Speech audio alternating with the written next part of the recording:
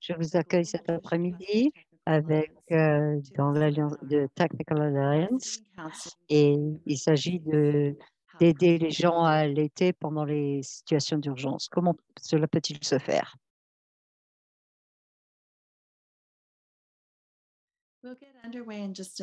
On va commencer dans une minute. En attendant, je vous invite à vous présenter dans le chat et également partager euh, vos perspectives en répondant aux questions que l'on trouve dans le chat. Qu'est-ce que l'allaitement?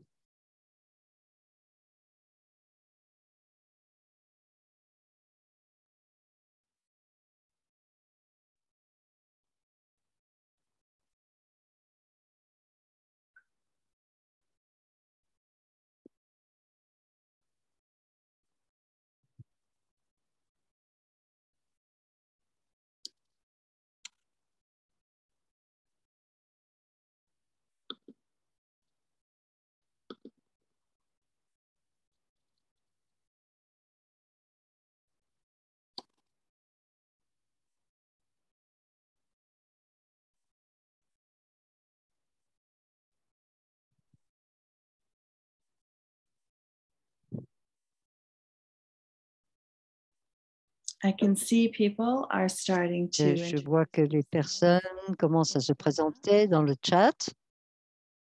So wonderful to see Donc, everyone. c'est remarquable de vous revoir tous. Je suis ravie. Please do take a moment. Euh, Donc, essayez de prendre un moment. On va essayer de prendre un moment pour que les personnes puissent venir et envisager la question de l'ouverture.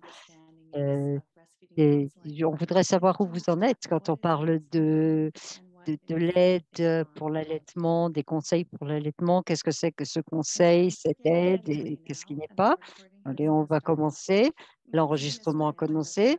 Si vous avez euh, raté ma présentation, je suis Jordan Chase, je suis votre facilitatrice et je voudrais vous saluer aujourd'hui et vous accueillir à ce webinaire.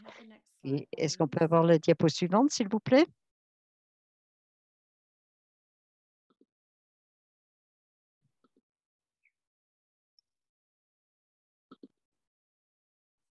You can access translation services by Vous pouvez- clicking il y a, Euh, your un interprétariat, vous voyez un globe en bas de votre écran. Donc, euh, si vous avez des problèmes, euh, faites-nous le savoir en vous servant du chat. Et donc, euh, voilà le groupe euh, de la diapo suivante. Nous passons d'une collaboration euh, mondiale de différents alliés et nous fournissons des aides, des formations, etc. pour vous aider sur la façon de nourrir les jeunes par l'allaitement, les enfants par l'allaitement. On, on donne des, on élabore des documents, des conseils, etc. Et pour euh, la- la- l'allaitement et l'alimentation des nourrissons et des jeunes enfants, nous sommes un groupe de travail sur euh, l'alimentation des jeunes enfants et des nourrissons dans les situations d'urgence. Ici, vous voyez nos membres, nos représentants qui travaillent ensemble pour essayer de, pour permettre que ce webinaire puisse avoir lieu aujourd'hui. Diapo suivante. Voici trois objectifs. Nous veut continuer à disséminer le guide opérationnel sur l'aide euh, à l'allaitement dans situation d'urgence qui a été répandu l'an dernier, ainsi que les différents outils. Nous voulons montrer les meilleures pratiques sur la façon de fournir euh, de l'alimentation et de l'aide aux enfants et aux mères. Et nous, nous avons également des documents pour présenter les questions les- et les différents problèmes que, rencontre, euh, que l'on rencontre sur le terrain quand on parle d'allaitement. Diapo suivante. Voici, désolé, je suis- me suis trompée. Ici, ce que vous avez, c'est l'ordre du jour. On va vous poser des questions pour euh, deux questions pour essayer de voir où vous en êtes. Et ensuite, nous avons une présentation qui sera suivie de deux études de cas. Et ensuite, vous aurez des questions-réponses. Et puis ensuite, on clôturera par euh, des annonces et puis par un formulaire d'évaluation. Diapo suivante.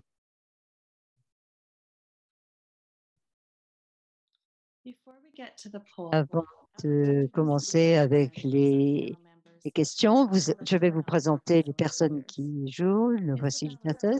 Isabelle est, est un auteur principal sur euh, le guide opérationnel, sur euh, l'aide à l'allaitement, donc question d'urgence. Elle travaille étroitement avec nous euh, pour le réseau de nutrition.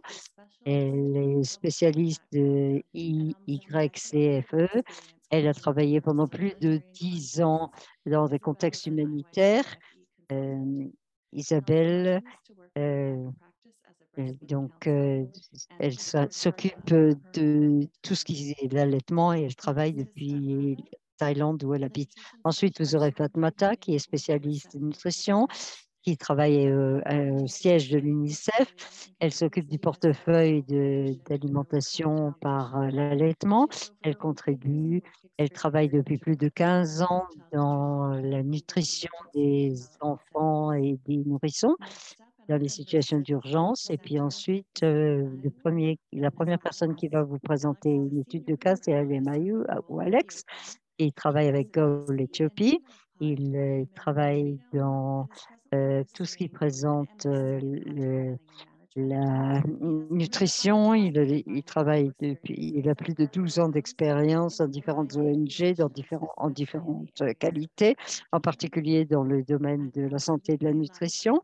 Et Ma Inès, qui est le, le fond- le fondation de, euh, responsable de la fondation de Rogan et sous, du groupe de- d'aide aux parents.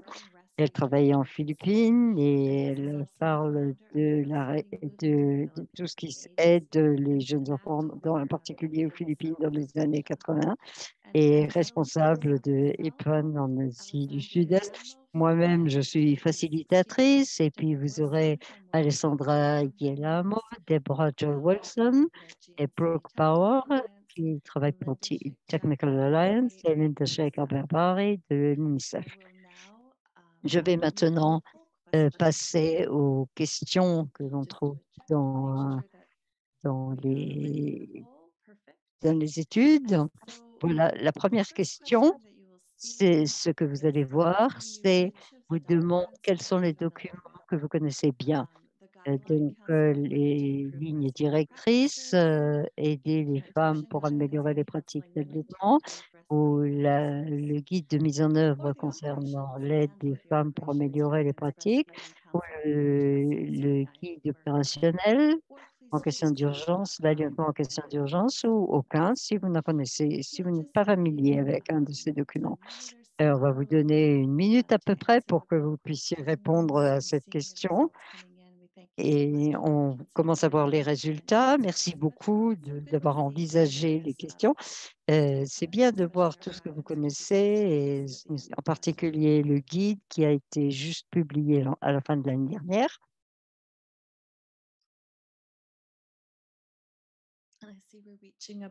Et là, on arrive environ à 70% de réponses, de participation de votre part. Donc, euh, on vous demande de finaliser vos réponses pour terminer, la, pour terminer cette euh, évaluation, cette petite enquête en fait.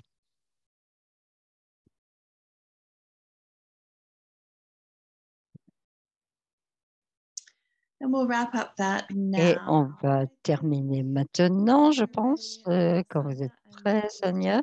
On va passer à la deuxième question de cette euh, petite étude.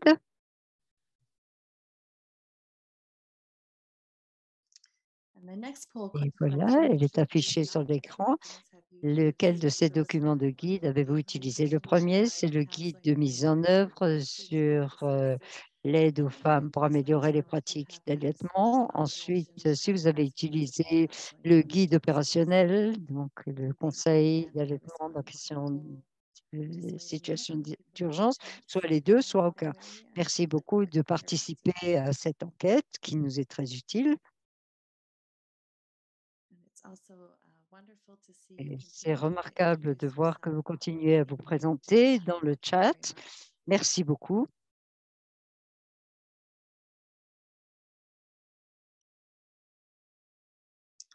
And I see we have um, Et je vois nous avons 70% de notre audience euh, aujourd'hui qui ont répondu à la deuxième question de cette enquête. Je vous laisse quelques secondes supplémentaires et puis on va mettre un terme à cette deuxième question de l'enquête.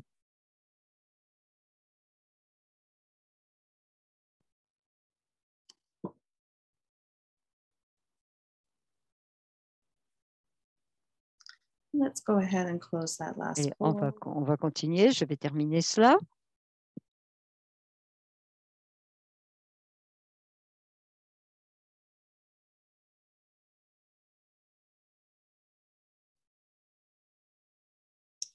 Thank you very much for Merci beaucoup d'avoir participé à notre petite euh, enquête aujourd'hui. On va passer à la diapo suivante, s'il vous plaît. And I'm going to turn- Et je vais donner la parole. Désolée de ce petit bruit. Je vais euh, terminer à Fatmata de l'UNICEF. À vous, Fatmata. Thank you, Jodine. Merci, Jordan. Colleagues, Et chers collègues, je vois d'après les questions de l'enquête, beaucoup the d'entre vous sont au courant des documents dont je vais parler aujourd'hui, the et 2018, en particulier la mise en œuvre de 2018 euh, et également la guide sur l'aide euh, apportée aux femmes pour améliorer les pratiques d'allaitement. Chers collègues, comme vous le savez sans doute, ces guides qui aident euh, les femmes à allaiter a été publié dans le pays pour essayer d'a- de construire de meilleurs programmes d'allaitement. Il y a six preuves sous forme de recommandations sur l'aide à l'allaitement. Donc, euh, cette, euh, ces guides euh, ont présenté la façon dont nous percevons l'aide sur l'allaitement. Euh, nous essayons de, nous avons essayé de nous concentrer sur l'allaitement pour que ce soit disponible pour les femmes qui en ont besoin. Mais ce document s'est modifié euh, parce qu'en fait, maintenant, il donne des recommandations assez fortes pour les femmes bien pour avoir assez accès à l'aide euh, quand elles étaient enceintes et celles qui avaient de jeunes enfants de moins de deux ans, s'assuraient qu'elles aient les services de- d'aide euh, formés en termes d'aide. Euh, nous déci- nous définissons, vous avez défini cela de- dans les enquêtes de façon différente. C'est un processus d'interaction entre l'aide et la mère et ce n'est pas une approche euh, euh, d'enseignant et qui répond aux, aux questions, mais ça concerne la façon dont elle peut nourrir son bébé. On le fait pour toutes les femmes et ça commence pendant la grossesse et ça continue jusqu'à deux ans après la naissance de l'enfant. Et c'est très important. C'est une recommandation très importante dans cette ligne. La mise en œuvre également précise qu'il doit y avoir six contacts, comme par exemple des contacts en visuel, et ça c'est recommandé. Les lignes directrices se concentrent également sur la nécessité d'avoir des aides qui soient vraiment formées. Et ça, c'est quelque chose de travailler avec des pairs, avec des professionnels et la formation que ces gens et le fait que ces aides soient formées. Ça euh, met aussi en avant qu'il est important d'anticiper, de répondre aux défis. Et voilà les, les étapes pour le guide de 2018 qui a été publié en 2018 suite à cette, euh, ces lignes directrices.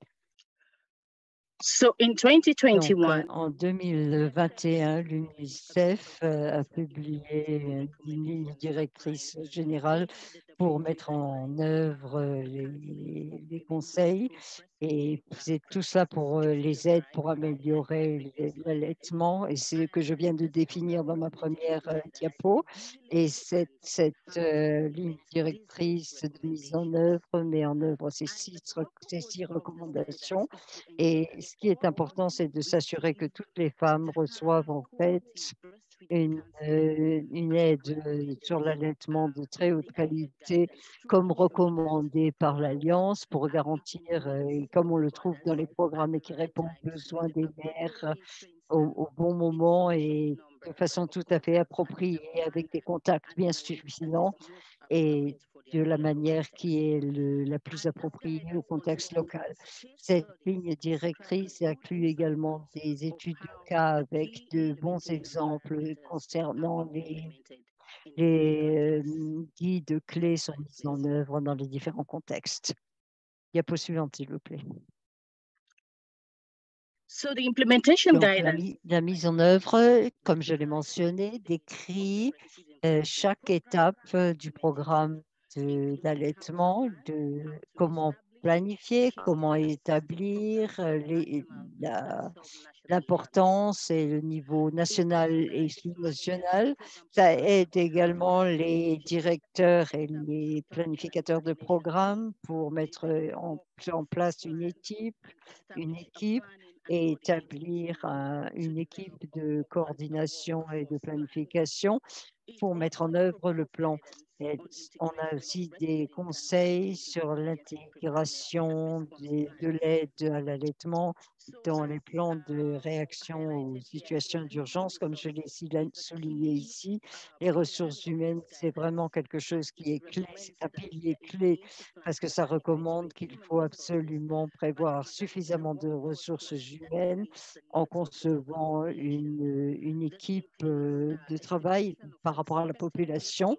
Il faut que ça corresponde euh, à ce qu'on attend et répond avec suffisamment de contacts pour l'allaitement, pour mettre en œuvre les, objectifs importants de, cette, de ce plan de mise en œuvre. Une autre recommandation, c'est aussi une adaptation et un développement d'un programme pour euh, for- des programmes de formation euh, en interne. Il y a d'autres éléments euh, très importants parce que il faudrait se servir de, la mesure de ces progrès au niveau de la facilitation et au niveau de la communauté avec les indicateurs. Il faut que ce soit le suivi doit être régulier et périodique pour ça c'est important pour ajuster le service et également euh, pour les pour mettre en œuvre les programmes en interne ou en externe. Un autre pilier important, c'est de garantir que c'est qu'il y ait des finances durables, que pour garantir que, que tous les acteurs et toutes les parties prenantes puissent intégrer l'aide de- à l'allaitement pour que dans les programmes qui existent et les programmes à venir. L'élément important pour la durabilité financière, c'est de s'assurer que le financement ne connaissent pas de conflit d'intérêts et que tous les financements doivent répondre au code international euh, de toutes les résolutions. Et le dernier, mais la dernière par- partie importante, c'est les plaidoyers, c'est de garantir que l'allaitement et l'aide à l'allaitement euh, profitent, euh, donc soit, soit connaissent l'adhé- l'adhésion de toutes les parties prenantes pour garantir que les stratégies de développement national, que les politiques euh, de nutrition et que les plans d'action soient également euh, étab- établis et intègrent et soient intégrés dans les programmes d'allaitement. Et pour finir, et pour finir, mais c'est important également, il faut garantir que l'aide euh, intègre euh, une préparation et une réponse en situation d'urgence. Il faut absolument être prêt à donner des conseils en situation d'urgence par le biais de ce plan de réponse et de préparation. C'est un élément clé et en situation d'urgence pour garantir que les, nourrissons et les jeunes enfants soient protégés et pour les aider à survivre euh, dans toutes ces situations stressantes. Donc, vous avez là tous les détails de préparation pour les aides euh, et vous aurez une présentation que Isabelle euh, va vous faire et qui traitera de ce problème. Merci à tous les collègues de m'avoir écouté. Merci beaucoup, Fatmata. Isabelle, à vous.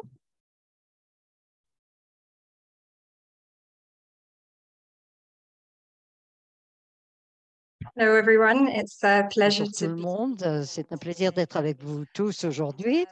Et je vais vous présenter le guide opérationnel euh, en situation d'urgence. Et c'est un, plaisir de vous présenter ce document parce qu'on sait que en cas de, en situation d'urgence, euh, allaiter un enfant et aider à l'allaitement, ça peut vraiment sauver des vies. C'est très difficile euh, de mettre ceci en œuvre dans des situations d'urgence. Nous avons compris ça. C'était, c'est tout à fait possible d'établir ou de réétablir des services d'aide à l'allaitement, mais et aussi de- d'améliorer les pratiques d'allaitement même euh, en pleine crise. Et ce guide vous présente juste euh, tout simplement la façon de le faire, comme Jordine l'a fait. Ce a été préparé euh, euh, avec le docteur Linda Shaker qui est avec nous aussi aujourd'hui. Et nous avons réussi à nous servir de ces études. Et nous avons établi à nouveau ces lignes directrices, ces guides, et en particulier les euh, personnels qui ont de l'expertise et de la pratique, en particulier dans ce domaine de situation d'urgence dans le monde entier, ont accepté d'être euh, pour nous permettre d'avoir le matériel nécessaire pour écrire ce guide. Ce guide s'appuie sur les expériences et l'expertise mondiale. Euh, Aujourd'hui, je vais prendre environ 15 minutes pour euh, vous présenter pourquoi ce guide a été développé. Ensuite, je vais vous présenter comment vous pouvez l'utiliser pour vous aider à préparer, planifier et concevoir des programmes d'aide, euh, même dans des contextes très difficiles de situation d'urgence. Diapo suivante. So, uh, Donc, as you arrived, we Euh, you, on- uh, on vous a demandé tout au début qu'est-ce que l'aide? Et la raison pour cela, c'est qu'il est très courant que les gens comprennent des choses tout à fait différentes quand on parle de d'aide euh, à l'allaitement. Les gens ne répondent pas toujours de la même façon. Donc, je vais prendre un peu de temps pour, être sûr que nous soyons tous sur la même ligne. Je n'ai pas vu tant de réponses euh, qui arrivaient, donc je vais partager des points clés avec vous.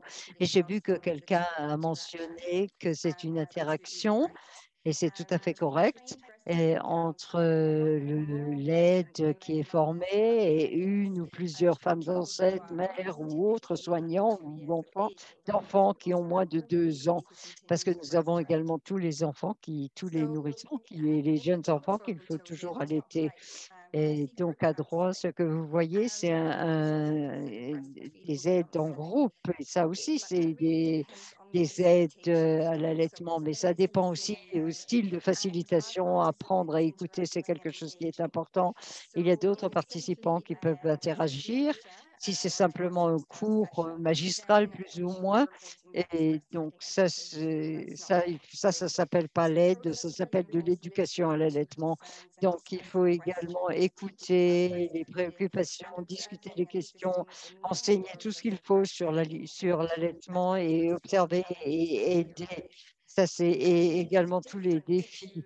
Et c'est différent de l'éducation de base, euh, de l'allaitement, tout ce qui est autre, plus ou moins théorique. Quand on voit l'énorme nombre de conseils et d'aides, des milliers et des milliers, ça nous envoie un problème que ça a lieu. En fait, la différence clé, c'est cet apprentissage et cette écoute. Et ça, c'est quelque chose qui est très important pendant les aides et ça soutient les femmes qui peuvent prendre leurs propres décisions. Et l'objectif, c'est de donner le pouvoir aux femmes de- d'allaiter et toutes les pratiques entrent en compte et sont respectées, ainsi que les situations personnelles et les désirs de chacun. Dans le coin droit, dans le coin du bois du, de la diapo à droite, on voit un enfant qui est nourri, qui est allaité. Et donc, on peut faire les deux. On peut nourrir euh, au sein et puis euh, on peut lui donner de la nourriture, euh, des aliments extérieurs. Il s'agit en fait de faire quelque chose de façon responsive et il ne faut pas que ce soit quelque chose de séparé de l'allaitement. Il faut fournir un soutien pour les enfants qui sont à la fois allaités et nourris autrement dans une situation d'urgence. A la relactation qui est importante, y compris les fournitures de lait et toutes les actions qui peuvent se faire, euh, que l'enfant soit allai- euh, allaité ou pas.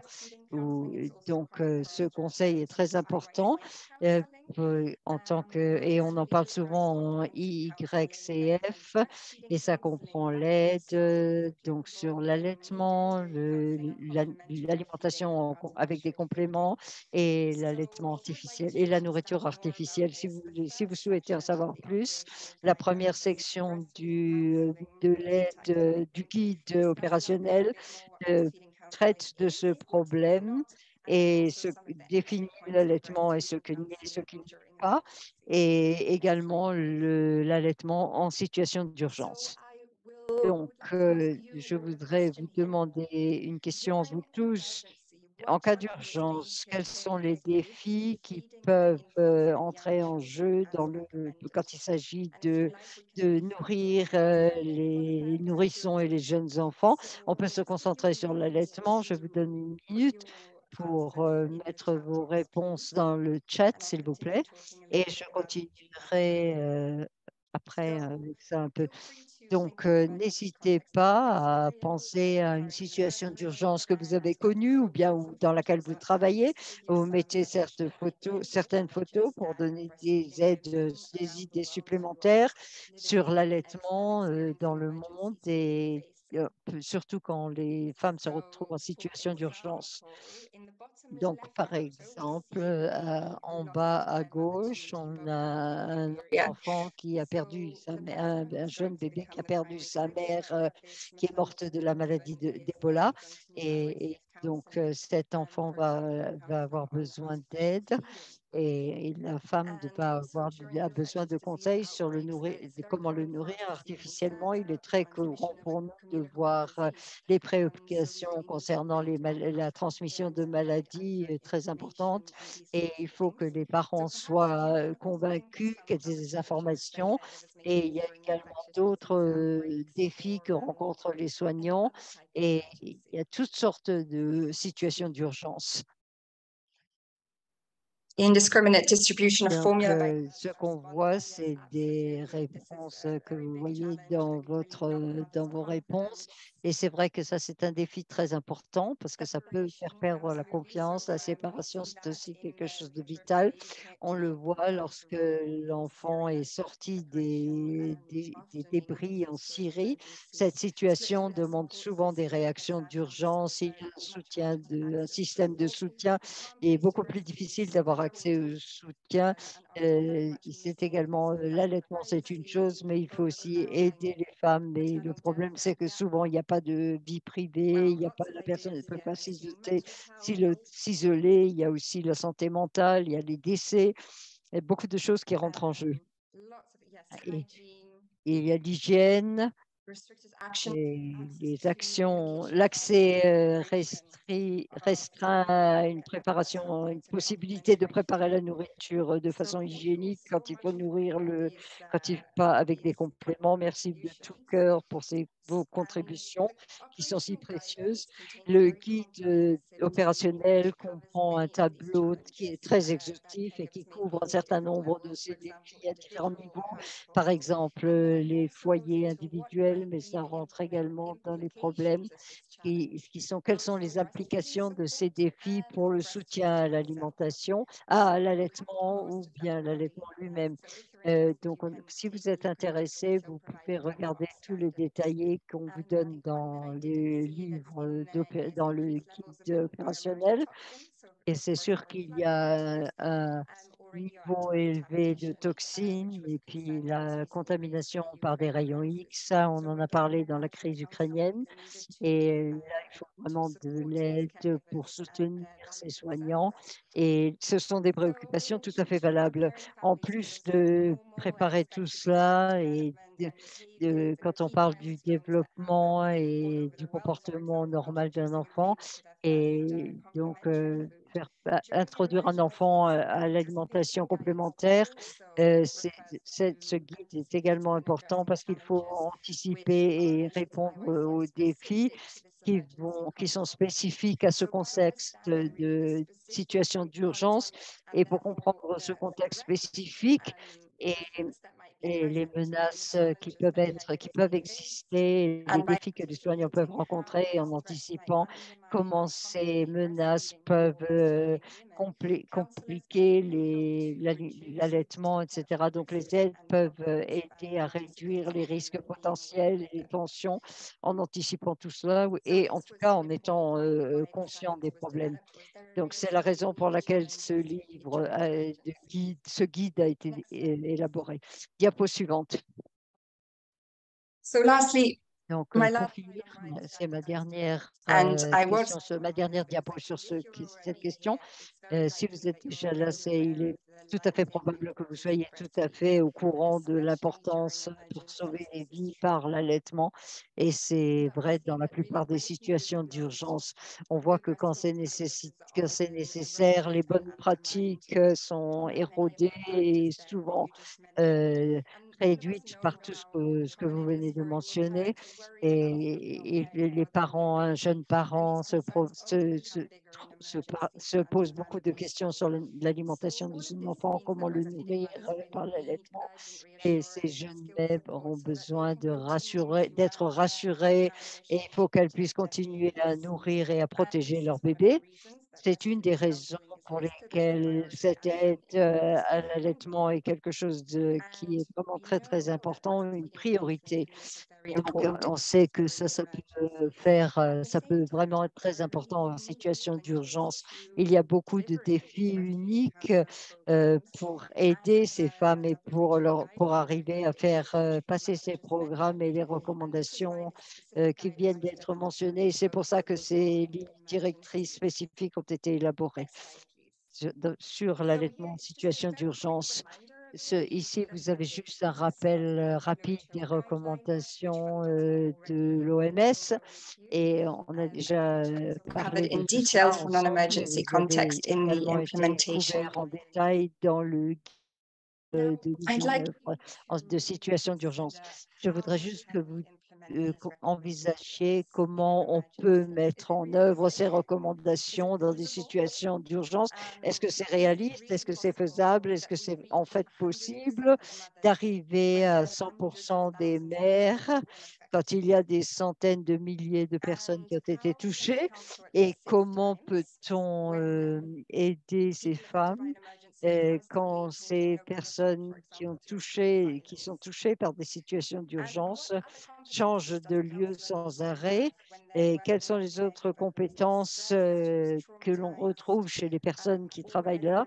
Lorsque les personnes sont stressées, traumatisées et quand euh, aider un enfant, quand nourrir un enfant au biberon est bien plus dangereux qu'auparavant. Est-ce qu'on peut continuer à pratiquer ce genre de cela, même quand il y a une infection euh, ce sont toutes les questions auxquelles il faut penser, qui ne sont pas si simples et qui, que rencontrent toutes les personnes qui travaillent en situation d'urgence. Je voudrais vous demander de réfléchir un petit peu, de partager donc dans le chat box, de partager quel est, quel est le défi le plus important que vous rencontrez quand vous parlez de l'allaitement, quelles sont les barrières que vous rencontrez?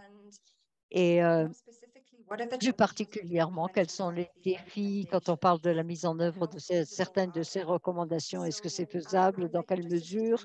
Je voudrais que vous preniez juste une minute pour réfléchir euh, aux différentes recommandations et et si vous voulez, peut-être prendre des notes, euh, peut-être de 1 à 5, quelque chose qui n'est pas faisable du tout et quelque chose qui, qui peut se faire tout à fait.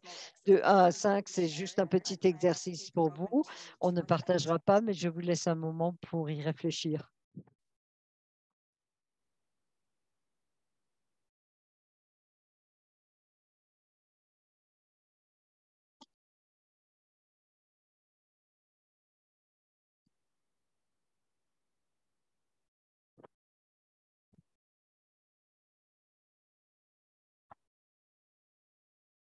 Yeah, I'm seeing you also sharing some uh, challenges, Je vois aussi que vous partagez des défis et vous avez des défis très importants. La priorité des situations de santé, euh, souvent l'aide n'est pas priorisée quand on a besoin de se concentrer sur des situations euh, d'urgence. Thank you all so much. Merci beaucoup, merci beaucoup à tous.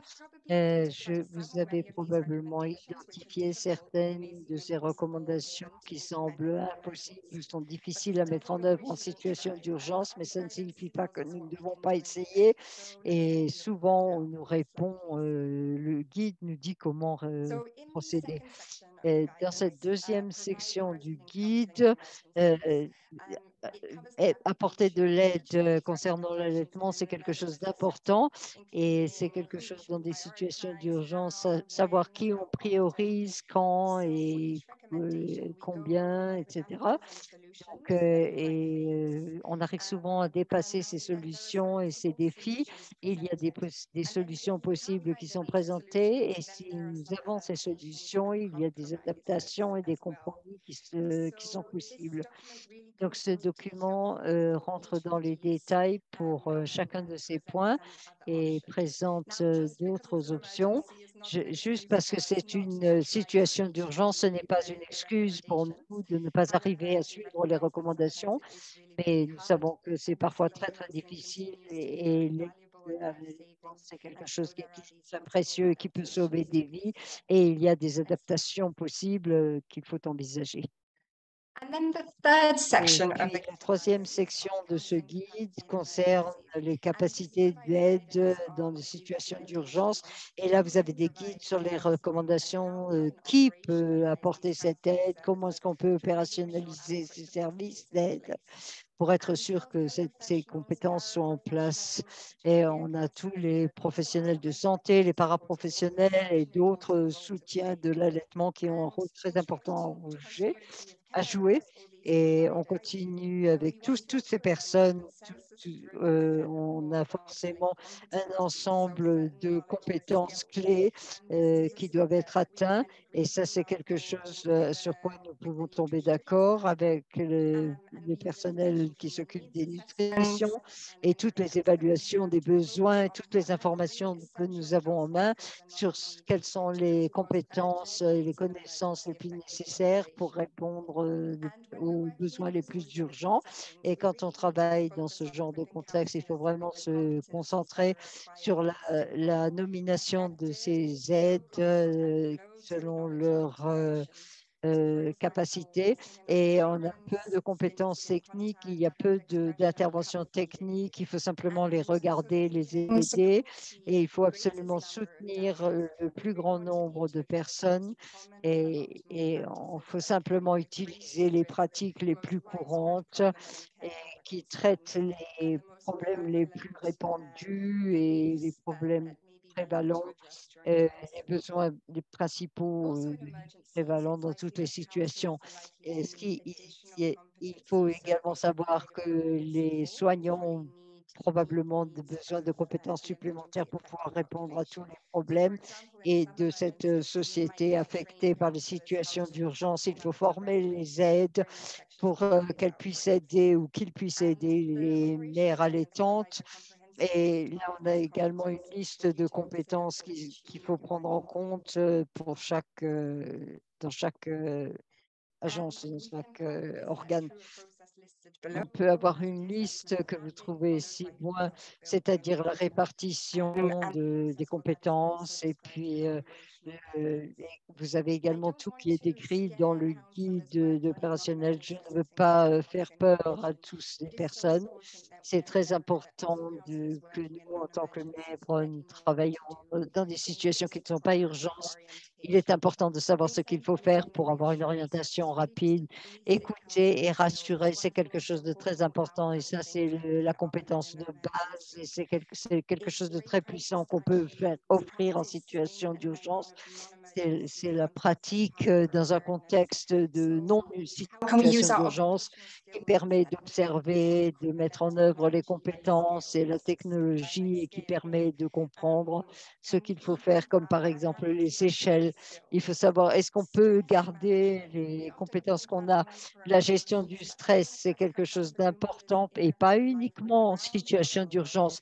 C'est les mères rencontrent cette situation tous les jours. Comment est-ce qu'on peut enseigner ça aux, aux soignants dans toutes les situations et les aider à se détendre et accepter la résilience. Et comme quelqu'un l'a mis, quelqu'un avait mentionné le stress, comment est-ce qu'on peut gérer cette facette? Dia- dernière diapo. So this is just to explain how to use these two documents together. comment utiliser ces deux Um, documents en même temps.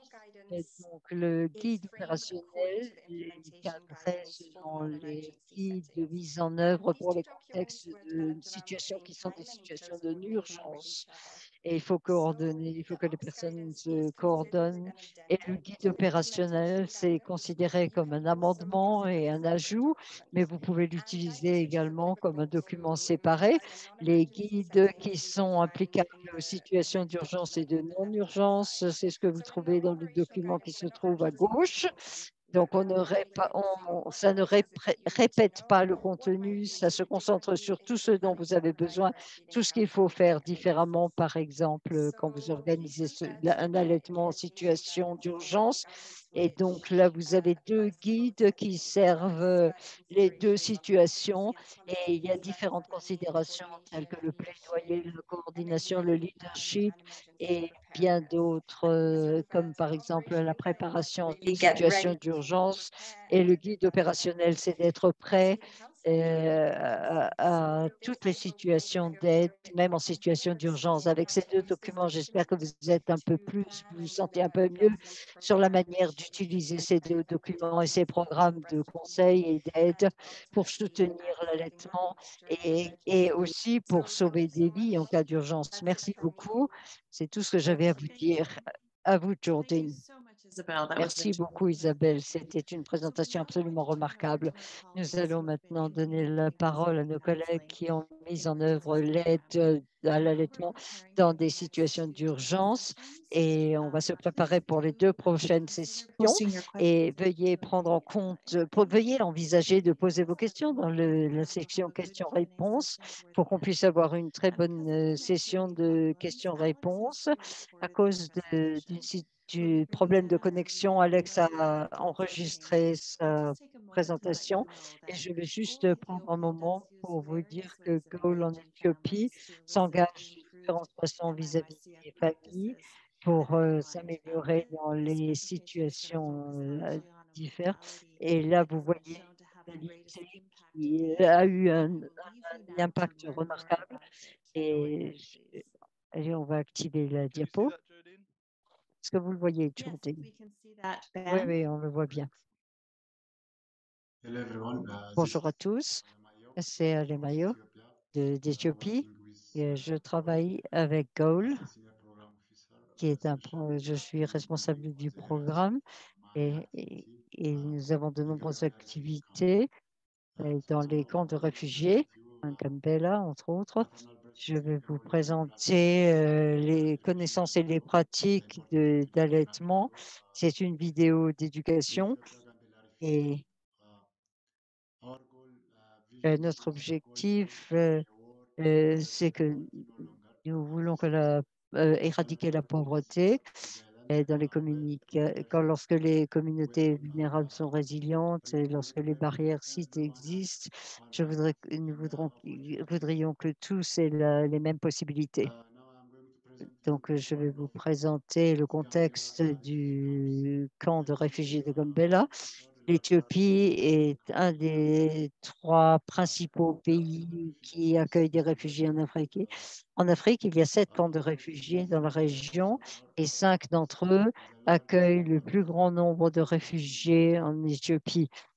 À la fin d'août 2021, Gambela accueillait 377 792 euh, réfugiés sud-soudanais et qui vivent dans la région de Gambela. Euh, donc, euh, il y a eu différentes aides qui sont euh, procurées et de, personne à personne par tous les soignants qui travaillaient pour MAMI, LC, OTP, dans tous ces programmes-là et pour tous les bénéficiaires. Les, agents responsables des communautés euh, euh, euh, donnent des aides de groupe ou individuelles par euh, les études de cas, par les résultats des cas actifs dans les familles. Il y a des groupes de soutien mère à mère et père à père qui ont été mis en place pour les différentes activités comme la nutrition et d'autres possibilités dans la communauté pour optimiser les pratiques euh, MIYCF. Des groupes euh, de- d'aide euh, euh, sont fournis pour toutes les femmes qui ont des enfants de moins de 5 ans et également, et également les mères qui sont enceintes euh, ou allaitantes. Donc, euh, il- faut savoir que les vidéos, ça fait partie des activités qui sont importantes également. C'est choisi par les mères pour euh, comprendre réellement ce qui se fait et tout ceci par la vidéo, comme vous le voyez ici. La recherche opérationnelle, nous avons consulté différents médias mondiaux parlant de la santé mentale et pour améliorer la qualité des services et les activités qui sont importantes pour, en particulier, pour les programmes de MIYCF pour améliorer la qualité de cette activité d'allaitement dans les camps de réfugiés. Ce qui compte plus particulièrement, c'est que c'était le choix de la mère et il y avait une évaluation qui a été faite par, euh, euh, une association en Éthiopie. Nous avons identifié les erreurs et toutes les activités dans les, camps de réfugiés et dans les situations d'urgence. Euh, puis, il y a eu un programme d'études dans le cadre du MYCF, euh, une évaluation euh, de l'âge et de leur enfant de 0 à 1 mois et depuis octobre 2020. Et ça, c'est les résultats, euh, les premiers résultats, c'était que l'ai- la- l'allaitement pendant les six premiers mois de la vie d'un enfant et il fallait connaître toutes les, tous les bienfaits de la- de l'allaitement. Il fallait connaître euh, les programmes d'alimentation complémentaire après six mois. Et un, résultat secondaire, c'était les, différentes sessions. Il fallait également connaître euh, l'importance euh, de l'allaitement et il fallait savoir euh, pourquoi un enfant pouvait être affamé, crier, pleurer et savoir comment le satisfaire. Dans cette vidéo, on a différentes réponses et différentes situations. Et, ce qui est important, c'est la facilité, euh, le côté a- euh, approprié, le côté l'acceptabilité et l'efficacité. Après les évolutions des activités, et une fois que les bénéficiaires quittaient le programme, après de, au bout de deux mois, et on, on- savait qu'il y a eu lieu de, entre octobre et décembre 2020. Et donc, en résumé, on peut dire que les mères et les travailleurs euh, de santé ont trouvé la vidé- les vidéos acceptables, utiles et efficaces. Et ça servait à, améliorer le service euh, qui était donné aux bénéficiaires et aux mères euh, qui habitaient dans les centres de réfugiés, dans les camps de réfugiés. Après avoir vu la vidéo, euh, l'allaitement exclusif était durable et, crucial. Il y avait des, améliorations considérables dans euh, la compréhension détaillée de l'alimentation, de l'allaitement par la mère et des connaissances. Et la mère comprenait de plus en plus ce que signifiait l'allaitement et les vidéos permettaient aux mères euh, d'avoir euh, une pratique physique euh, positive, des pratiques positives tout en regardant et, et, et elle recevait en fait euh, des aides qu'elle ne recevait pas avant et les maires ont en fait euh, se sont engagés de plus en plus et c'était très important et ça permettait de se souvenir de tout. Les vidéos euh, permettaient euh, de mettre en œuvre de façon pratique ce qu'elles avaient retenu et vu dans la vidéo. Euh, il faut dire que le travail, ça a réduit le travail des travailleurs de soins de santé parce que les mères qui avaient regardé la vidéo, elles essayaient de mettre en œuvre ce qu'elles avaient vu et c'est très important et, ça permettait et ça, se faisait dans le centre de nutrition, les plans à venir il faut mettre en œuvre cette vidéo et, cette aide euh, qui a été aidée par la vidéo à la fois dans les deux programmes MAMI et MIYCF. Il faut envisager euh, la fréquence, euh, un écran plus grand. Il faut inviter d'autres membres de la famille à suivre ces programmes et ces informations. C'est tout ce que j'avais à dire euh, pour euh, notre présentation venant d'Éthiopie. Merci beaucoup.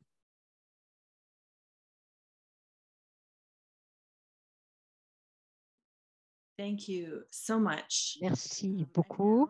Et maintenant, on va avoir euh, une- également euh, un enregistrement de Inès pour soutenir euh, la nécessité de, de connexion entre les problèmes techniques.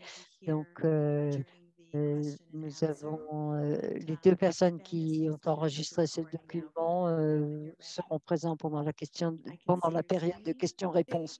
Euh, je vois le- l'écran.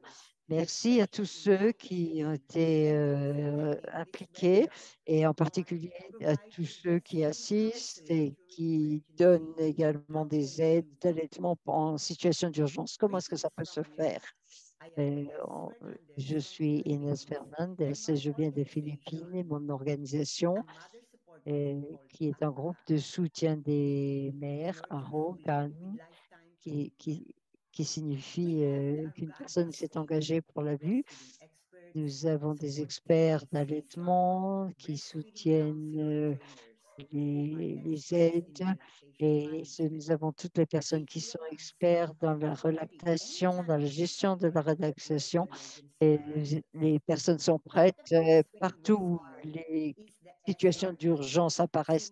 Partout, vous avez MIYCF qui est un, outil rapide et qui est disponible partout. Et ça couvre les 6000 euh, survivants de tous les problèmes euh, qui ont, eu lieu aux Philippines et qui ont détruit la vie des, Philippi- des Philippins il y a deux ans. Cette expérience est quelque chose qui était très important et, chaque fois qu'on parle de d'aide euh, de, secours euh, en allaitement, première, euh, première étape. Donc, euh, il faut am- venir avec vos petits, avec vos petits enfants et vos nourrissons pour euh, apprendre l'allaitement. C'est quelque chose qui est très important et c'est ce qui est le plus efficace dans l'apprentissage pour les mères. Euh, les survivants des typhons euh, sont très attentifs, et, mais leur esprit se fait des soucis et se demande euh, ce qui se passe alors que les, les personnes qu'elles aimaient, qui faisaient partie de leur famille, ont disparu, demander la permission à deux, de deux femmes pour le processus de réadaptation. Et, et il y aura une, mère euh, qui est allaitante et comme vous le voyez sur le diapo, vous voyez les autres qui assistent. Et euh, étape 3, le, pe- le petit enfant pour la première fois euh, a son expérience, euh, reconnaît une expérience de, de l'allaitement chez sa mère. Et l'étape phase 4, euh, le bébé est ramené à la mère pour qu'elle puisse le- l'allaiter elle aussi avec l'aide des donneurs. Et pourquoi est-ce que le bébé continue à être allaité? Ça, c'est uniquement pendant une période de transition, mais essentiellement et plus important, c'est de s'assurer que euh, les enseignements soient partagés dans les communautés et ainsi que la responsabilité sociale. Et ce qui est plus important encore, c'est d'appliquer les personnes euh, qui travaillent dans la santé de base euh, au sein de la communauté. Il faut qu'elles arrivent à faire passer les mêmes messages de haut niveau dans les aides et en particulier dans les, chez les travailleurs de santé dans, dans les communautés, comme vous le voyez sur les diapos. Quelque chose qui est également une intervention très efficace, très efficace, c'est le soutien de mère à mère en deux heures euh, uniquement. Cinq femmes s'aident et le cons- le- l'aide euh, d'allaitement guide mère qui veut être, euh, aidée. Et vous le voyez avec la mère en bleu, par exemple. Et une autre mère aide euh, cette jeune mère à, à allaiter son enfant. Et euh, donc, on voit l'application également de pour tirer le lait. Et on a également euh, la, la nourrice et pour que le- l'enfant puisse connaître euh, l'initiation à l'allaitement au sein. Et d'autres euh, femmes euh, gèrent euh, les enfants de la nourrice pour soutenir. Et la cinquième étape, c'est que l'enfant est rendu à sa mère biologique pour qu'elle puisse le nourrir au sein. Et les réponses, c'est la nourriture complémentaire pour les enfants de plus de six mois. La nourriture euh, saine est nécessaire euh, chez ces survivants de typhon. Euh, pour, pendant tout un moment, ils ont travaillé avec des, des aliments en boîte, etc. Et un autre problème, c'est que c'est ce qui arrive, tout le nez, le lait artificiel qui arrive et tous les produits, et, qui, et ça, on le trouve dans les euh, euh, qui sont offertes souvent par les sociétés qui produisent du lait, l'industrie. Et vous voyez certaines organisations qui, dans les centres d'opération, euh, la nourriture traditionnelle et puis il y a des séminaires qui ont lieu là-dessus pour la communauté et les cu- dans la cuisine, etc. C'est très important pour les jeunes enfants qui ont besoin d'être nourris régulièrement et la disponibilité de la nourriture doit être toujours assurée. Et ces, ces enfants euh, vulnérables euh, ont souvent faim et ils ont besoin d'être nourris, d'être nourris régulièrement et il faut appliquer tous ces principes. Et les mœurs, les mères ont fait des containers pour complémenter tout cela. Et pour compléter tout ça, une fois que la structure et le, climat et le pays, ce sont des composantes importantes quand on parle de nourriture euh, complémentaire. Euh, récemment, notre équipe euh, est essayé, notre équipe a essayé de former des étudiants pour l'alimentation. Et ce qui est important, c'est le, les massages pour faire monter le lait. Et la province de Mysore a enregistré un des plus hauts niveaux de malnutrition pour les enfants qui étaient nourris par du lait artificiel. Et ça, c'est c'est quelque chose qui a été très important après le septième typhon parce que les typhons ravagent les Philippines tous les ans. On a des éruptions volcaniques, on a des tremblements de terre et on a également des conflits internes dans les parties isolées. Dans cette diapo, on vous montre les étudiants euh, euh, pendant le, pendant le, cours et la lactation et les différentes techniques. euh, Et ça, c'est quelque chose de très puissant pour la, euh, dans le processus de lactation. Et il faut essayer de comprendre ça parce que l'allaitement pour les femmes, c'est quelque chose de très important parce qu'elles nourrissent la génération suivante. La première étape est de, de rassurer euh, la, femme. Il faut absolument qu'elle comprenne son corps et qu'elle euh, détende ses, mu- ses muscles qui sont tendus et pendant toute la grossesse et qu'elle arrive à nourrir le bébé. Maintenant, il y a beaucoup de points de lactation et, il y a même les pieds et les mains qui, qui ont des points qui correspondent à la lactation. La deuxième étape, c'est de massager à nouveau l'esprit euh, crucial pour que ça, ça euh, libère les hormones qui produisent le mais et les massages de relaxation sont également quelque chose d'important parce que les femmes prennent confiance et l'étape suivante, c'est l'application suivante et c'est il faut absolument que, parce que euh, la poitrine et de seins sont sensibles et il faut absolument les massager pour les massager, oui, pour arriver euh, au flux du lait pour les mois à venir. Et ça, c'est un impact très important. Moi, une mère avec un bébé, et vous le nourrissez ce bébé uniquement avec du lait artificiel et nous allons pouvoir euh, captu- capturer à nouveau la puissance euh, de l'allaitement et les enfants au-dessus de six mois, ça prend du temps pour y arriver, mais nous pourrons faire revenir la lactation. Ça, c'est absolument sûr. Et l'allaitement, bien entendu.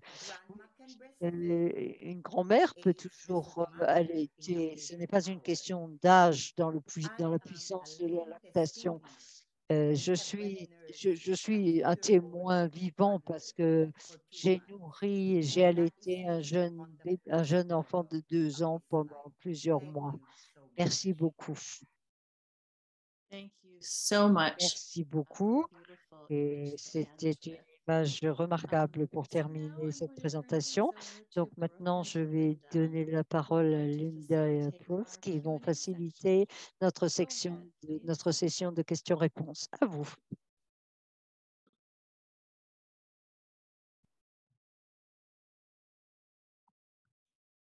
Great. Thank you very much. Merci beaucoup. Bonjour Linda.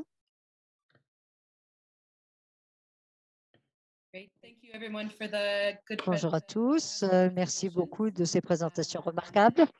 Et c'était une question très intéressante que nous, les questions très intéressantes qui nous sont Um, arrivées jusqu'à présent dans les questions-réponses.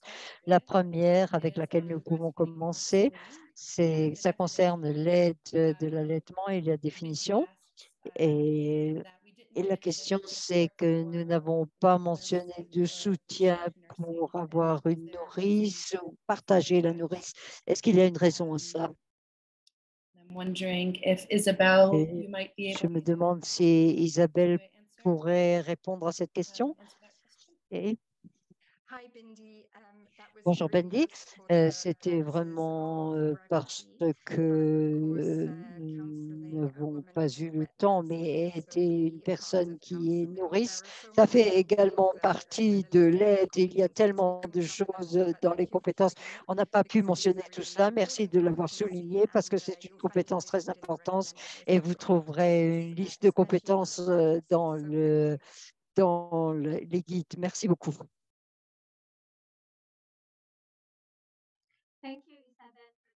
Merci beaucoup Isabelle. C'était très important et c'était également une- c'était important de mentionner cet aspect. On a une autre question qui est spécifique. Euh, Est-ce que est-ce que je crois que ça a été mentionné C'est une question euh, qui, qu'est-ce que signifie une fois qu'on a traité le traumatisme et quels sont les inconvénients ensuite euh, quand on aide euh, par la suite? Est-ce que qui, Isabelle, vous voulez répondre à cette question? Oui, oui, je suis vraiment ravie que cette question ait été posée parce que c'est quelque chose dont more il faut vraiment parler de plus en plus. Et récemment, on a fait du travail pour essayer de comprendre un peu davantage, de savoir à um, quoi ça pouvait ressembler en cas de situation d'urgence, une réponse un peu longue pour vous. Mais il y avait également plusieurs questions incluses dans cette question, en fait. Euh, il faut éviter de faire du mal et puis apporter des soins efficaces et avoir accès aux services. Donc, on, veut que les mères se sentent à l'aise quand elles arrivent dans nos services. Et c'est très important que l'allaitement et les programmes d'aide à l'allaitement, en particulier ceux qui touchent les populations qui ont qui ont été exposés au traumatisme. Et il faut absolument appliquer une approche qui tienne compte de ce traumatisme. On a un glossaire là-dessus. Et ensuite, il faut vraiment définir euh, le traumatisme. C'est le cadre qui guide les aides, euh, les soignants de façon sensible euh, par rapport au traumatisme. Et il faut éviter d'activer des réponses post-traumatiques. Ça veut dire commencer quelque chose et faire venir des flashbacks parce que ça peut être un son ou un mot, tout ce qui cause euh, des traumatismes, soit des traumatismes ou soit des traumatismes supplémentaires. Donc, euh, il faut essentiellement euh, comprendre traumatisme euh, qui a lieu dans la vie d'une personne. Un exemple pourrait être, par exemple, qu'il faut mieux comprendre comment la violence sexuelle peut avoir euh, une influence sur l'expérience d'allaitement. Ça peut être très difficile pour elle. Ça peut également impacter son comportement vis-à-vis de l'aide. Donc, parfois, euh, on est frustré parce qu'une mère ne semble pas capable de retenir une information qu'on partage ou elle peut devenir agressive ou même mauvaise. Et c'est important de comprendre euh, ces comportements parce que son système nerveux est en mode euh, de lutte et donc elle se donne, euh, elle se trouve en mode réponse traumatisme. Donc lorsque l'aide comprend, il est beaucoup plus facile de répondre avec du soin et de la compassion plutôt que d'être frustré. Donc je voulais être vraiment très clair que cela ne signifie pas que les aides de- d'allaitement doivent diagnostiquer ou traiter le traumatisme. Ce n'est pas leur but. Ce ne sont pas des médecins. Euh, en fait, euh, il faut simplement connaître, être au fait des traumatismes et il faut que tous les aides euh, puissent apporter cette aide de base par rapport au traumatisme, mais rien d'autre. Parce que tout le monde peut avoir expérimenté un traumatisme quelconque. Peut-être qu'il peut être utile d'y penser comme étant une précaution universelle. Une infirmière peut utiliser, par exemple, des gants pendant la procédure médicale. On peut utiliser toutes sortes de précautions euh, vis-à-vis de nos clients. Je n'ai pas besoin de connaître la vie d'une femme pour euh, connaître, pour savoir ce que c'est que le traumatisme. Et parfois, euh, demander ce qui s'est produit vis-à-vis d'une personne, ça peut rapporter, ça peut des souvenirs euh, déplaisants et il faut donc absolument être euh, formé. On n'a pas besoin d'avoir toute l'histoire. Je n'ai pas besoin de diagnostiquer si une personne est traumatisée, si tellement ne l'est pas. Euh, je ne suis pas formée pour ce genre de choses, mais je peux appliquer ce- ces soins euh, euh, qui sont informés par les traumatismes. Et ça, ça s'applique à tout le monde. Mais je veux demander la permission, l'accord de la personne si je dois toucher une personne, par exemple, pour examiner sa- ses seins. Et je lui explique pourquoi ce toucher est né- est nécessaire, parce que je sais parfaitement que si elle, euh, est, si elle survit, si elle est survivante de violences sexuelles, ça peut être par- parfaitement euh, troublant et perturbant d'être touchée. Je peux même essayer de ne pas la toucher du tout et je peux utiliser euh, sans les mains, je peux utiliser une poupée, par exemple, pour lui montrer que s'il faut vraiment traiter chaque personne de façon différente. Et dans ce cas-là, on s'occupe vraiment de chaque personne à fond. Et j'espère que ça répond à votre question. Si vous avez d'autres questions, euh, n'hésitez pas à, poser- à les poser. Merci beaucoup.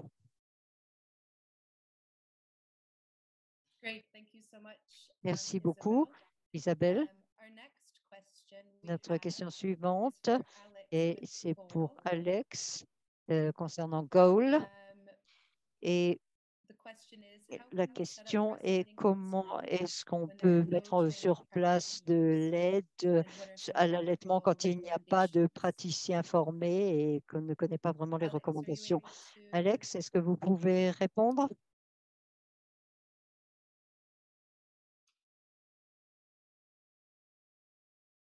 There were some technical difficulties. Il y a des, diffi- des difficultés techniques. Il y en a eu un début d'après-midi. Peut-être qu'il y en a aussi. On va voir si on arrive à être en contact avec Alex. Est-ce la prochaine, la question suivante, et- ou est-ce que quelqu'un peut répondre?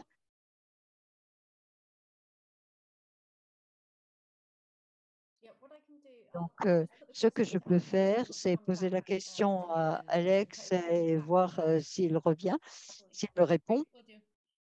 Euh, Est-ce que, Linda, est-ce que vous pouvez traiter de prendre la prochaine question? Il y avait également une question pour euh. Comment est-ce qu'on aide les communautés à se préparer et les capacités pour répondre immédiatement?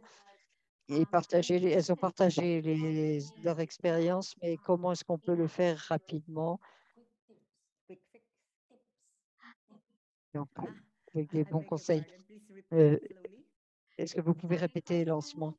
Euh, La question concerne comment est-ce qu'on peut aider les communautés à se préparer et avoir euh, les compétences pour pouvoir répondre euh, soit immédiatement, soit plus rapidement en cas d'urgence. C'est une question qui est, import- qui est assez conséquente, mais peut-être que vous pouvez partager quelques leçons apprises ou quelques conseils. Merci de cette question. Euh, et maintenant qu'il n'y a pas d'urgence, c'est le moment peut être préparé à répondre. Et c'est pour ça que maintenant on va de ville à ville, de ville en ville, dans des groupes de soutien aux mères et qu'on fait cette formation autant que possible. On essaie d'avoir le maximum de mères pour avoir une participation dire- directe. Et puis, il y a certains observateurs parce que euh, peut-être que la moitié de ces observateurs, personnes qui observent euh, seront actives en cas d'urgence.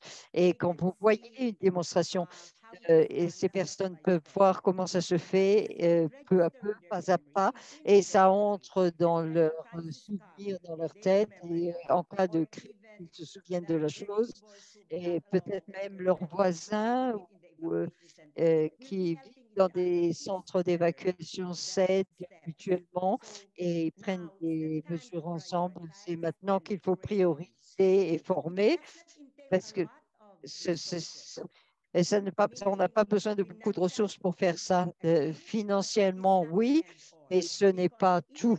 Euh, dans les communautés, dans les centres de communauté, on a beaucoup de ressources. C'est tout à fait exact. Et ce que vous soulignez, c'est que une, phrase que nous utilisons toujours, que pour être tout à fait préparé, c'est la communauté, il faut se servir de la communauté d'allaitement euh, qui est habituée à l'allaitement, qui est habituée à travailler dans une communauté. Merci beaucoup et c'est durable en plus. C'est fantastique. euh, euh, Inès, vous avez beaucoup de gens qui sont d'accord avec vous dans le chat parce que les personnes disent que la, formation des communautés, ça garantit la stabilité. C'est très, très bien dit. Et il y a beaucoup de femmes qui sont d'accord avec vous. Une autre question dans les questions-réponses. Et vous avez parlé de- des grands-mères qui euh, également.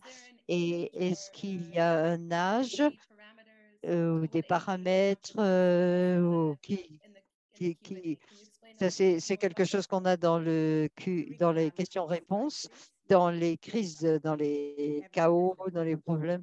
Euh, L'âge disparaît, euh, tout le monde a des seins, il faut activer le principe, la ressource est dans le corps humain. C'est une question de de de- d'essayer de, per- de persuader, de convaincre et de montrer.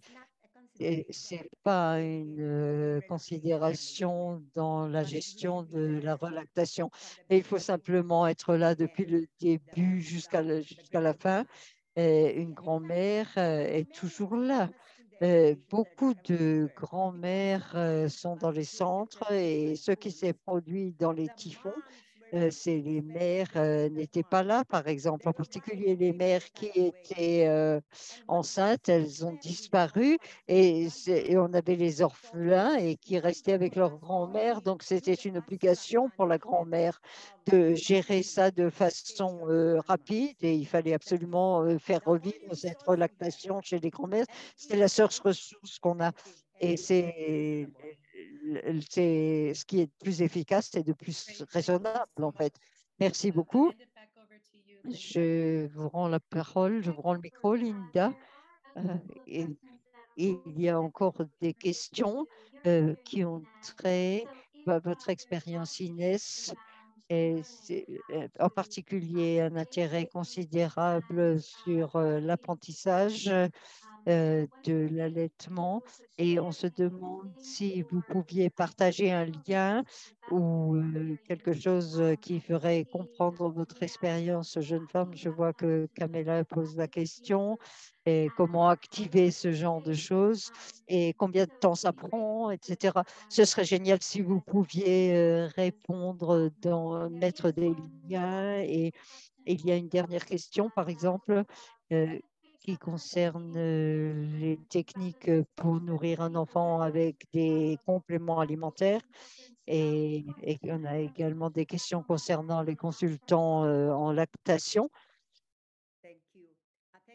Merci, merci de, cette, de votre intérêt. En fait, on peut organiser des webinaires et on, on apprend euh, étape par étape. En, en Indonésie, euh, on est là et on a beaucoup de praticiens.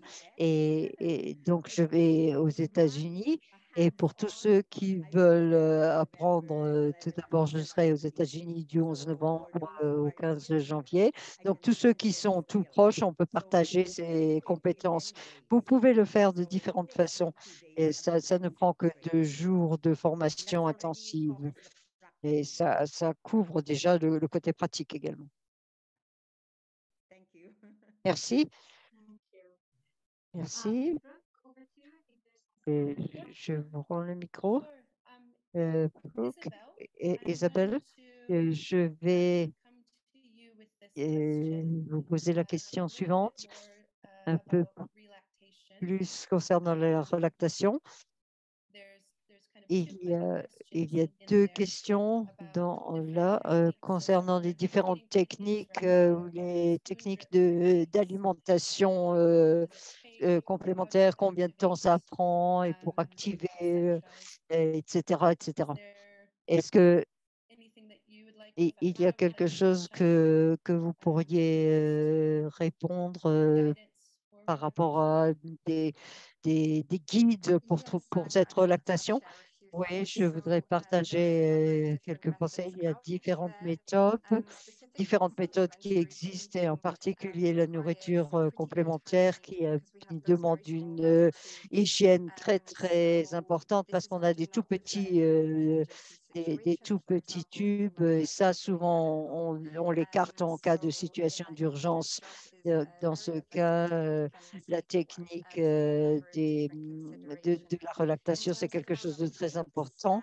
Euh, pour savoir combien de temps ça prend, ça dépend réellement de, de chaque personne, en fait.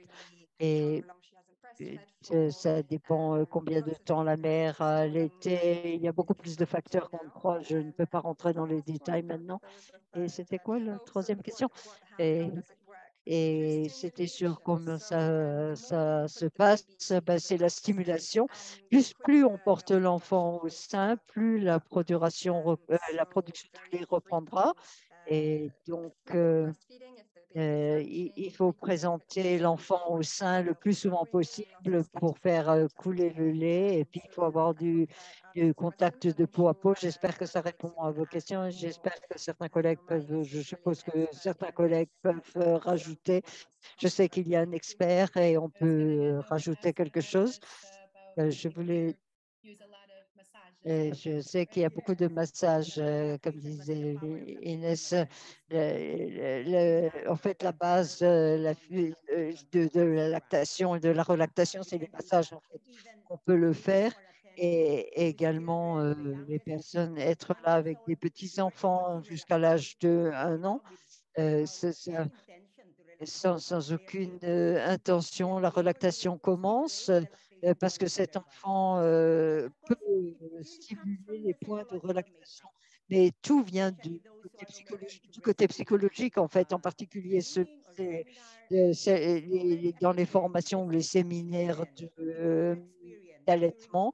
Euh, ça, c'est déjà une préparation, mais même d'après notre expérience en cas de situation d'urgence, les hormones euh, d'allaitement euh, sont activées en cas d'urgence euh, dans les situations d'urgence et on peut le faire en quelques heures en fait. Ça demande une compétence, ça c'est sûr, mais ça demande effectivement beaucoup de, beaucoup de, de contacts. Mais en fait, il faut leur donner également, en, cas de situation d'urgence, il faut leur donner des aliments qui, tiennent, qui, sont qui apportent le confort. Mais il faut aussi leur donner de la nourriture en plus de l'aide euh, que nous leur apportons. Merci, merci beaucoup. Merci. Et Linda, je crois que il y a encore une question concernant l'aide. Comment est-ce qu'on essaie de mettre sur pied le, le conseil et il n'y a pas de conseil euh, en chaîne. Et, oui, j'attendais. On n'a pas beaucoup d'électricité, donc euh, ça pose des problèmes actuellement. Mais euh, pour résumer, en bref, je voudrais dire la première chose que je voudrais faire, si- s'il fallait établir tout cela, je voudrais probablement euh, utiliser les guides de mise en œuvre sur euh, l'aide et cette aide, ce guide vous passe pas à pas et pas à pas toutes les informations, euh, les, tout, ce qui, la, vos les documents, la formation, le suivi approprié. Et c'est également, et si vous n'avez pas d'expérience dans ce genre de contexte, euh, donc, vous avez des petites vidéos qui sont divisées. euh, euh, Vous avez la vidéo qui sert avec les professionnels de la santé, puis vous avez les vidéos avec euh, les, soignants de premier rang. Et ça, c'est des ressources euh, qui, qui montrent bien plus que ce qu'on peut vous donner en expliquant et dans une formation. Et ce que vous avez parfois pendant que vous... euh, Parce que bien sûr, ça prend un peu de temps, mais euh, pendant que les personnes attendent, on peut essayer de, euh, de mettre sur pied des groupes de communauté, que peu importe la forme que vous lui donnez, mère to mère ou père to père, peu importe, mais parce que ce sont des forums remarquables pour partager les connaissances. Et euh, depuis le début, ça, c'est quelque chose que vous pouvez faire en tant que réponse immédiate pendant que vous mettez en place les formations et, et que vous essayez de rallier les aides. Merci beaucoup, euh, Hattie. Merci beaucoup. Il y a une autre question qui a été postée de Pinty et qui demande, qui parle de dans les groupes euh, et que, comment est-ce qu'il y a des contextes spécifiques, particuliers dans certains pays. Je crois que c'est une question pour nos collègues Isabelle, euh, peu importe qui veut répondre. Perhaps I can start by, uh, Peut-être que je peux répondre, commencer en expliquant pourquoi on a inclus cela dans le guide, parce que après, j'aimerais bien entendre des expériences des autres. Euh, Ça n'a pas été mentionné par les praticiens, plus particulièrement quand on, les a, quand on s'est entretenu avec eux, mais on a simplement cherché euh, les, preuves quand on avait dans des contextes uh, euh, de, de situation d'urgence et puis on voyait est-ce qu'on peut se servir de ça quand il y a des difficultés d'allaitement. Et après, euh, on a, on a emergencies. simplement décidé qu'il fallait que to les mères off sachent the cela et prioriser. C'est- vraiment intéressant de savoir, de connaître l'expérience de votre collègues qui ont cette expérience. Merci. In- Inès, pendant en- dans des situations d'urgence, euh, euh, le, statut économique et tout ça, c'est pareil. Il n'y a plus de, il y a plus de, de différence. Tout le monde est un survivant. Et quand on parle des aspects médicaux, on travaille main dans la main avec les experts médicaux et euh, avec les aides en allaitement, parce que parfois les médecins ne sont pas spécialisés dans les aides et parfois c'est un tandem, ce sont des personnes qui s'aident mutuellement et parfois euh, le, médecin apprend de l'aide euh, en allaitement et euh, on a rencontré euh, des personnes qui avaient euh, y avait différentes choses et il y a des gens que ça a affecté, il y a des gens que ça n'affectait pas. Peut-être que ça dépend. D'après notre expérience, euh, dans les centres d'évacuation euh, isolés, on a, pu, euh, on a pu faire revenir cette lactation. Merci. Ça, c'est notre expérience. Merci beaucoup. Et je crois que je vais donner la parole à Jordine de nouveau. Merci beaucoup. C'est- absolument, vous avez des questions et des réponses euh, absolument fascinantes. J'ai vraiment apprécié la contribution de tout le monde et tous les efforts qui ont été faits de connecter avec nos collègues qui sont en Éthiopie, malgré leurs difficultés de connexion. On, est, on arrive pratiquement à la fin et je veux redonner la parole à Alex pour voir si on peut passer à la diapo suivante. Et voilà certains outils et des ressources supplémentaires euh, pour votre attention. On a l'infographie qui peut vous aider et on a Save the Children qui a des cours euh, en ligne et bien sûr nous avons le, le guide de lui-même. On a également le, le noyau euh, YCF qui a beaucoup de ressources. Et si vous voulez également continuer cette session et si vous avez d'autres questions, euh, euh, n'hésitez pas à vous tourner vers NET, c'est notre forum avec des questions-réponses. Et je vais rendre la parole à nouveau à Alex pour euh, terminer. Et je vais mettre les liens vers ces ressources dans notre chat. Merci beaucoup, Jordine, et merci à tous les participants et tous les intervenants. Je voudrais remercier toutes les personnes, à tous les collègues euh, qui, qui sont dans les dans l'équipe de Goal. Et si on peut passer à la diapo suivante, juste euh, pour vous rappeler rapidement que c'est le moment, je présume que vous savez tout ça. Voilà un effort en partenariat euh, du technique, Technical Alliance. Euh, euh, Rappelez-vous que vous pouvez euh, entrer en contact avec eux en cas d'urgence, mais également concernant d'autres aspects en cas d'urgence. Et c'est la manière dont vous pouvez les contacter. Vous entrez dans le site web, vous avez le lien, et puis vous avez le groupe technique également, et vous pouvez des questions. Ce n'est pas uniquement pour votre retour, mais c'est également pour toutes les questions que vous avez. Suivant.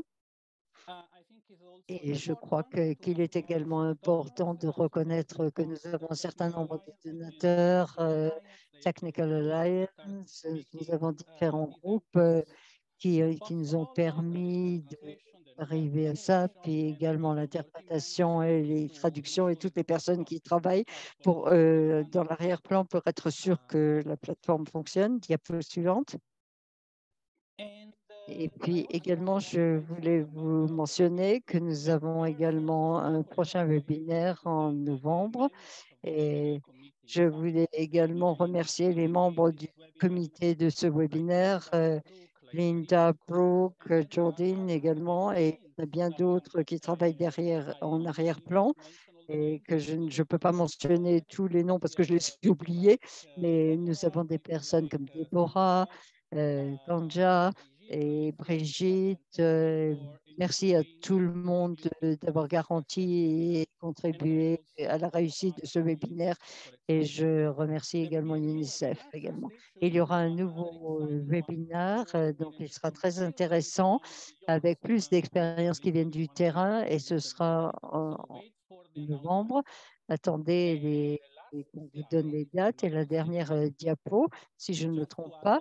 Et ce sera juste euh, après les, les webinaires peuvent être euh, améliorés si vous partagez les connaissances.